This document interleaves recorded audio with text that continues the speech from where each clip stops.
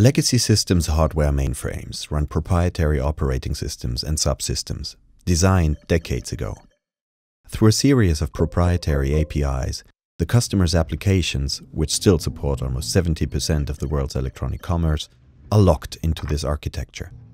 LzLabs has developed binary compatible APIs which operate within a managed container implemented on Linux.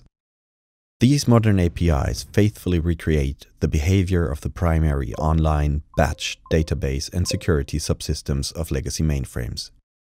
We call this a software-defined mainframe, and it enables these critical applications to function without changes or recompilation on commercial off-the-shelf hardware or in the cloud.